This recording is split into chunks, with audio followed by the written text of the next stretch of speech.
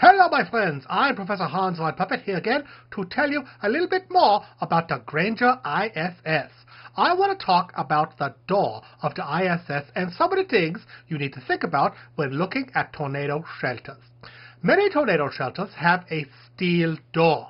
For many people, a steel door is hard to open because it's very, very heavy. Unfortunately, you may not realize just how hard it is to open a steel door until it's time to get into your shelter. That is why it's important to consider this before you buy the shelter. Another thing you got to worry about with a steel door is rust. And we all know that rust is never a good thing. Fiberglass is another material you might see when looking to buy a tornado shelter, but doors that are made of fiberglass, they are going to be exposed to the sun, you see? And fiberglass should never be exposed to the sun because UV rays break it down. A deteriorated door can cause a safety risk down the line.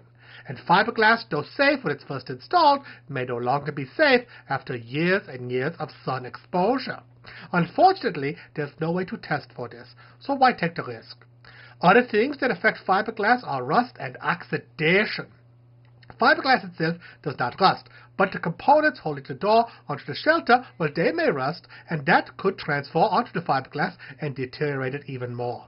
Oxidation also occurs when fiberglass is exposed to water, and both of these things make it weaker and unsightly. Ugh.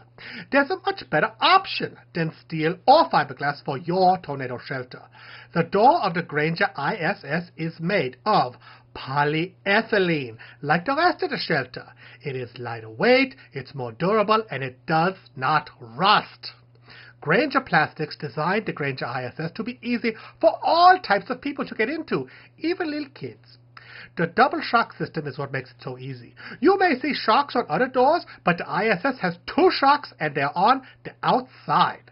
You see, shocks on the inside of the door can become deadly flying projectiles or even missiles.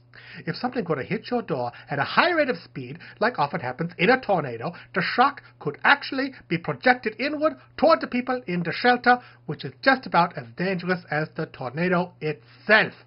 Oh, who wants a tornado inside the tornado shelter? That does not even make sense.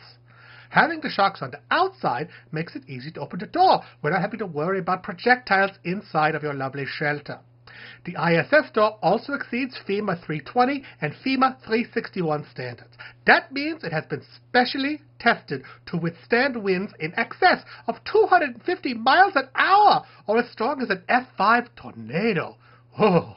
It also means the Granger ISS qualifies for any grants or tax credits available for tornado shelters. And they are out there, so check with your local FEMA office and see if there's any in your area. Another option is to add a a bullet-resistant layer to the door to protect you and your family against different types of emergencies, like home invasions or other scary things. Hopefully, you will never have to use your shelter for this reason, but if you do, you can have the protection of a level 6 bullet-resistant panel in your door. What does this mean? Well, it means that if someone was shooting a gun at your tornado shelter for some reason and you were in there, you would be a lot more protected than if you did not have a bullet-resistant panel. Do you see what I mean? Every door comes standard with two polyethylene panels, an interior one and an exterior one, as well as a quarter-inch sheet of polycarbonate in between. For protection, upgrade your door to include the bullet-resistant panel because well, you just never know when you might need that, and it sure would be handy in this kind of emergency. Oh, I hate to even think about it. The door is available in several lovely colors, too, like green to blend in with your grass, or terracotta to look nice with your brick. There's even some granite effects available, like gray granite or tan granite, to blend in with those lovely stepping stones you see in fancy backyards these days. Now, because the door is typically pretty much flush with the ground, you can landscape around it and make your backyard a little more fancy. Or if you're installing in a new home construction, you can blend it right into the concrete floor.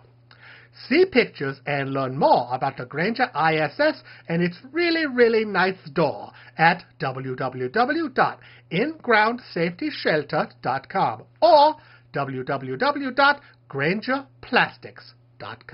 This has been your tornado protecting pal, Professor Hans von Puppet.